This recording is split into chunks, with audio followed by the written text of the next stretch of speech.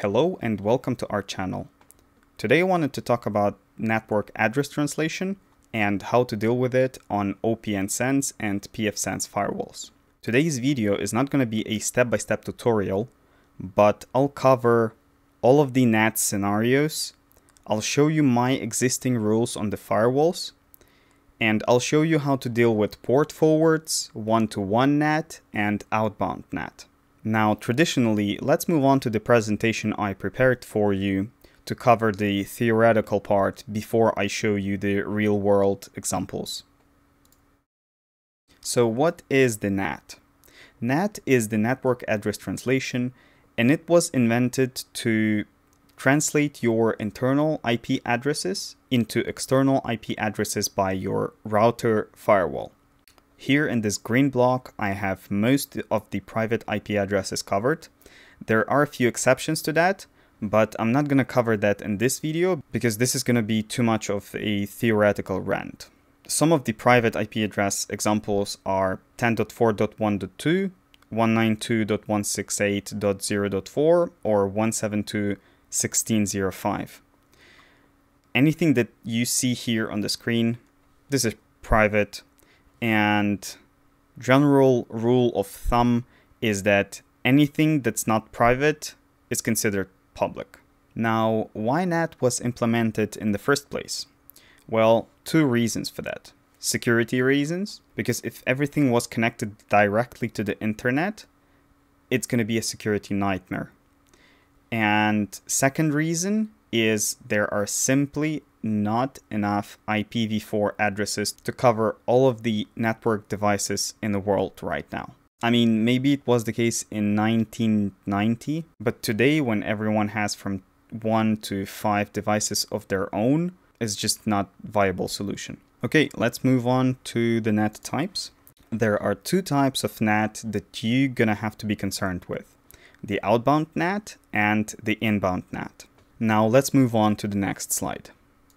Here we have some random client on the internet that wants to connect to mail.yourdomain.com on port 25. Through the internet and DNS servers and all that, it resolves the IP address to being 51.2.55.1 and the request is still coming in on port 25. So that request comes into our firewall. Firewall goes through the inbound NAT rules then when it finds the rule that says when you receive the request on this IP and this port, forward this to the internal IP and internal port. You can see here that we have a different port on the inside than on the outside. And that's basically what you can do with any inbound NAT rule. You have that flexibility to specify a different port that goes on the internal address rather than its publicly available port. Hopefully that makes sense so far. And before I move on to the practical example, I wanted to cover one more slide. Imagine the situation where we have a client on the inside that wants to access our hosted resource. It's going to be a waste if it will go to the internet and then back to the firewall and then to our email server VM. So we're going to configure a feature here that will tell the firewall if you receive anything from this client, don't go out to the internet, route the traffic straight back to the VM. And the feature is called NAT reflection. Now, when we have the inbound NAT covered, let's move on to some practical examples. I'll start with OPNsense here. And if you want to get to the inbound NAT rules section, go to firewall, NAT, and port forward. Then hit add a new rule and follow my example over here. It's a new rule, so we don't want it disabled. Interface section is very interesting, particularly on the OPNsense. So remember of that NAT reflection feature I told you about just a minute ago? Well, on the OPNsense, you're gonna have to mark every interface that will have access to the NAT reflection in this very rule. If you don't do it, NAT reflection will not work. I don't know if it's a bug or a feature, but I learned it the hard way configuring many port forwards and then troubleshooting the NAT reflection issues, things like that. pfSense has a different issue with this, but for OPNsense, remember, if you want your NAT reflection to work, mark all of the internal interfaces that you want to work this on. And of course, additionally, you need to mark the external interface that will receive the request from the external client. Then for the IP version, I have IPv4 here. Um, protocol is TCP. And the destination itself is going to be one of your externally available IP addresses. It can be set to something like WAN NAT address, but in my particular case, I need this IP to be translated into the internal one. Destination port range in my case is HTTP, but you can easily set it to other and input the random port on your firewall. The redirect target IP is your internal resource, and the redirect target port is the port that's open on your internal resource. Pool options is a unique feature to OPNsense and with it you can do some basic load balancing. For example, if you have multiple VMs on the backend, you can have one public IP address and OPNsense will forward everything to the set of the backend IP addresses. Um, although for it to work, you need to create an alias and add all of your desired internal IP addresses to the alias and then choose one of the pool options, something like round robin or round robin with sticky address. If you need to log your packets for troubleshooting or whatnot, um, tick this checkbox. Give your rule a description. Local tag and match local tag. Um, this is something you use in very advanced scenarios where you have double NAT and things like that. I'm not going to cover that in this video. Most of you will not need this like ever. And filter rule association, I already have a rule here, but you're gonna have to check the tick box to allow the automatic rule creation.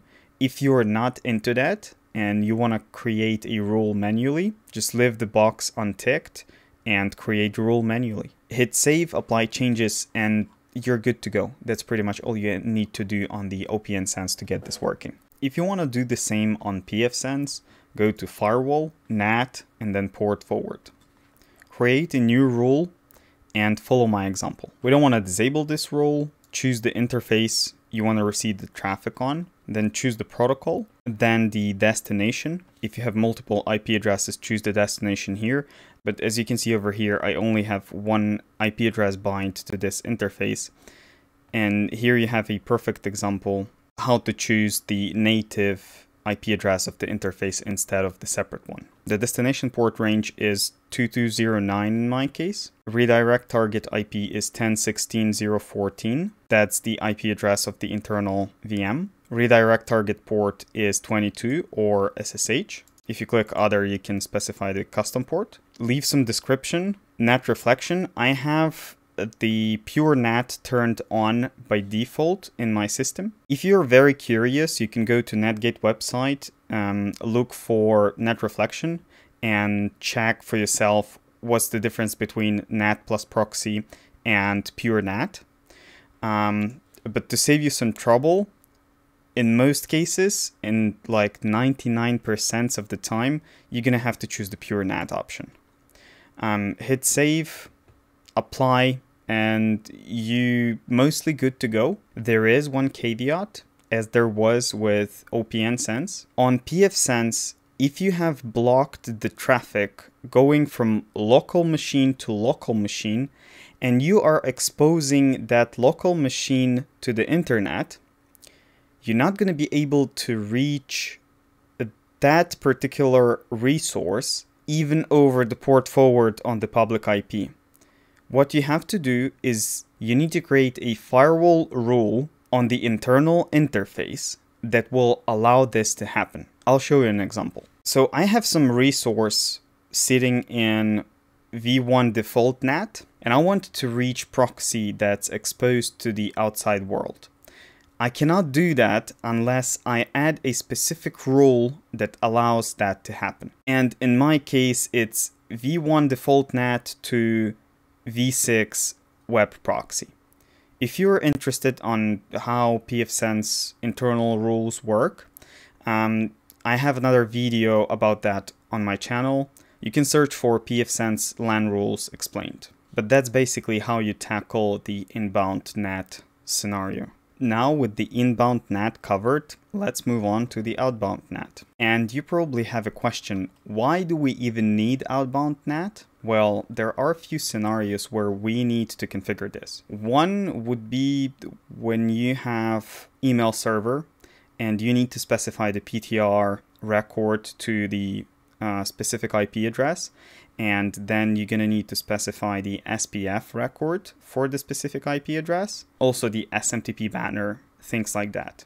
Most of the time, the outbound NAT needs to be configured on your firewall when you have multiple external IP addresses assigned to it. And I'll cover two scenarios where you have similar configuration that requires the outbound NAT, but then first we have public IP address assigned by DHCP so we need one physical interface per IP. And the other one has PPPoE or it can be PPTP or statically assigned via your ISP supplied router block of IP addresses that are assigned to one single interface. For the outbound rules, I'll also start with OPNsense. And if you want to configure that, go to firewall NAT outbound. First and foremost, switch from automatic outbound rule generation to hybrid. This is going to give you a way of adding some manual rules at the top, but you will keep a benefit of firewall creating some internal rules automatically without you having to manage it. When you've selected that, click Save, Apply, you're good to go. Then create a new rule and follow my example. Interface is the external interface you want your traffic to go from. IPv4 in my case, protocol any. Source address is the internal resource source address or alias. You can also configure a source port if you need to, but this is a advanced example that I'm not going to cover. Destination address any, destination port any, then translation target.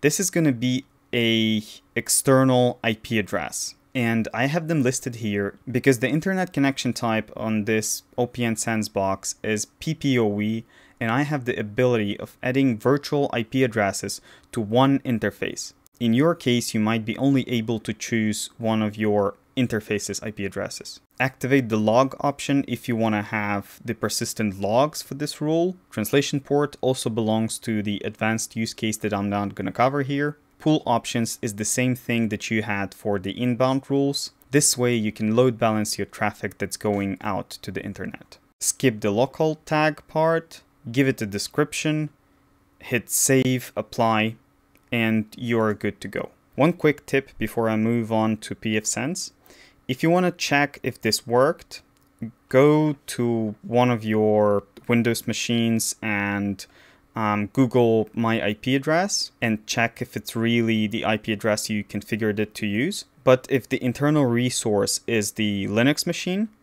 use curl ifconfig.me, press enter, and it's going to show you your public IP that you configured. And if it shows you the different address from the one that you configured, you need to go back and revise your settings. Moving on to pfSense, go to Firewall, NAT, Outbound, as well as in the previous example, click Hybrid Outbound NAT, hit Save, Apply, and you're good to go. This feature is identical on both platforms. Now go ahead and add a new rule, choose the interface, Again, a side note before I continue the configuration.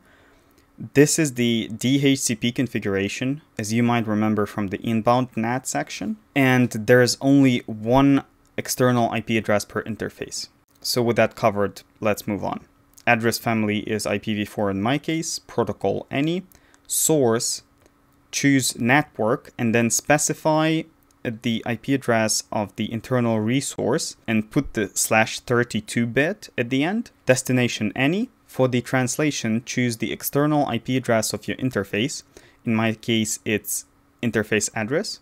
Give it a description, hit save, apply, and that's pretty much it. Don't forget to go to your VM and actually check if the setting was applied. One last thing I wanted to cover in this video today is one-to-one -one NAT and one-to-one NAT is designed to bind a specific internal IP address to the external IP address. So you don't need to do any port forwarding in that case, you just need to open firewall ports. So there's still a firewall between the internal resource and the internet, but the network translation is done automatically from the outside in and from the inside out. This approach doesn't have many useful use cases, but you might sell your client direct access to one of your internal boxes and they want to manage everything regarding that host. One-to-one NAT is your friend in this scenario. Another use case would be a PBX server all of our PBX servers are hidden behind the VPN, but there are some people that cannot afford or don't have technical know-how um, how to hide the server behind the VPN. So they need to expose the servers with one-to-one NAT. This is really not recommended, but the only way how your PBX server will work with the external IP address is actually one-to-one NAT. So let's start with the OPNsense firewall first again. Before you even start adding one-to-one NAT rules, go to Firewall, Settings, Advanced, and hit this checkbox. Otherwise, you're gonna have a hard time figuring out how to enable the NAT reflection for one-to-one rules. Save and apply your settings, then go to NAT one-to-one. And this is much simpler than something we had before. We just need to choose the interface, the type, which is usually BiNAT in like 99% of the cases. External network is your public IP address, and the source is your internal resource. Destination any, give it a description, NAT reflection enable, hit save, apply, and that's pretty much it. Moving on to the pfSense, you want to go to System, Advanced, Firewall, and NAT. Scroll approximately to the middle of the page and find Enable NAT Reflection for one-to-one NAT. Enable it, save, and apply settings. After that, go to Firewall NAT one-to-one and add a new rule. Here you can specify the interface, then external IP address, internal IP address, leave the destination as any, give it a description, and enable NAT reflection. Hit save, apply, and the rule is ready. When you are configuring one-to-one NAT, there is a possibility for you to specify a different block of IP addresses. For example, I want to forward internal slash 28 to the external slash 28. Although you can do that, I really don't recommend you do, because if something happened to break, you're gonna have a hard time figuring out what broke and where exactly. So unless you must do it this way, I really recommend against it. So that's it for this video. If you liked it, please consider leaving a like and subscribing. If you found this content useful, please consider donating to our PayPal. It really helps to keep the lights on in the studio. But for now, thank you very much for watching and I'll see you in the next one.